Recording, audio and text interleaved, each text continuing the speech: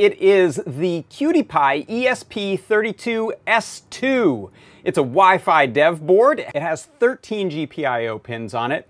It has native USB. It's a 240 megahertz single core Tensilica processor. It has 2.4 gigahertz Wi-Fi on there. And something I wanted to demo today is using this with WipperSnapper. So what I have is my QT Py and I've plugged into it a couple of different uh, outboard sensor boards. You don't even need to code it in a traditional sense. What you can do is go here to this page. I can click on new component and these are the components that have been uh, already created as, sort of almost a plug and play or drag and drop. So we can pick any of these sensors here. And now you've Adafruit IO WipperSnappered your QT Py to give you all the info you need. So now my temperature is at 28 centigrade and 124. It is the ESP32S2 QT Py Wi-Fi dev board with Stemma QT built in.